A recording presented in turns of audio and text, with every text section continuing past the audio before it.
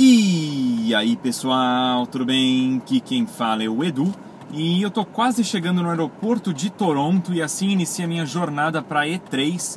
Felizmente consegui a oportunidade de cobrir a E3 e eu queria mostrar um pouquinho para vocês do que vocês não veem nos vídeos principais. Queria mostrar um pouquinho para vocês da minha jornada de quase morte agora que vem um caminhão vindo na minha direção, meu Deus.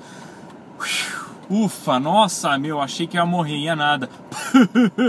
Mas enfim, eu queria só fazer um vídeo rápido, mostrar para vocês um pouquinho das ruas aqui de Mississauga, que é uma cidade satélite de Toronto.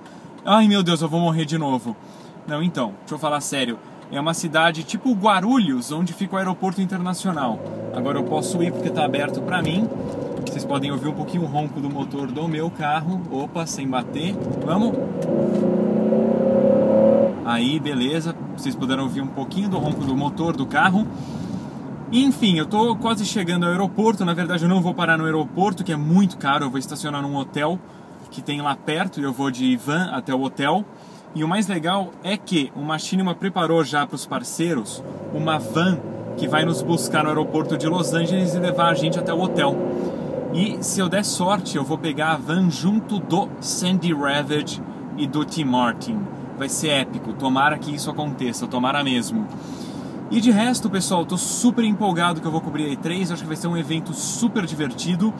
E como eu tô indo para lá graças ao apoio que eu recebo de vocês, eu quero tentar retribuir, fazer o máximo de material de qualidade e diferenciado, bem divertido para vocês. Espero que vocês fiquem satisfeitos com o material que eu trouxer para vocês e quaisquer sugestões, claro, são muito bem-vindas.